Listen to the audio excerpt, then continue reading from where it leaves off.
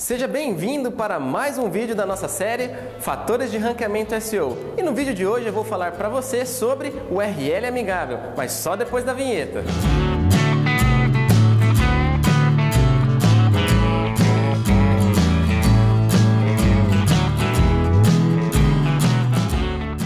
que não sabe o que é URL, é o endereço da sua página na internet, aquilo que você vê dentro, lá em cima do seu browser, que aparece lá http, dois pontos, o domínio, barra, o nome de alguma coisa.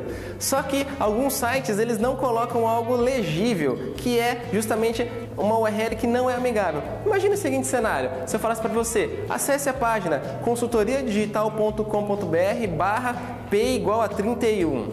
Do que, que essa página está falando? Você não sabe, não é mesmo? E nem o Google ao ler esta URL. Então, se você colocar uma URL amigável, ou seja, colocar uma palavra-chave ali, uma palavra que seja descritiva, por exemplo, consultoriadigital.com.br barra consultoria de SEO, Antes mesmo de você abrir esta URL, antes de você abrir esta página, você já sabe do que, que essa página trata. Ela vai tratar de consultoria de SEO. Então fica muito mais fácil, legível e a pessoa só de bater o olho ela já entende. E consequentemente o Google também. E isso é um dos fatores de ranqueamento lá dentro dos, uh, de todos aqueles que o Google avalia para montar o seu ranking nas buscas. Então fique ligado se o seu site não tem essa URL amigável, ela fica usando monte de parâmetros, números e coisas ilegíveis, repense na sua estratégia e comece a utilizar as URLs amigáveis.